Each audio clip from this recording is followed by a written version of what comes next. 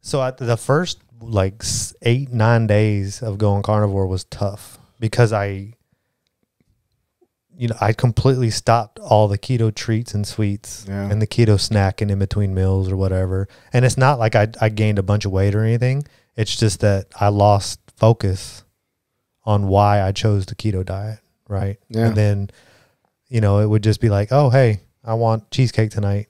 Okay, I, hey, I want a milkshake tonight. And every day it was always something Yeah. and and now uh, like switching to this is like okay i can't have any sweets i don't drink anything but topo chico and water anyway but 90% topo chico and um so it's not coffee i don't have to worry about any of that and it's just it was just you're just really taking out vegetables Yeah. and sweets Yep.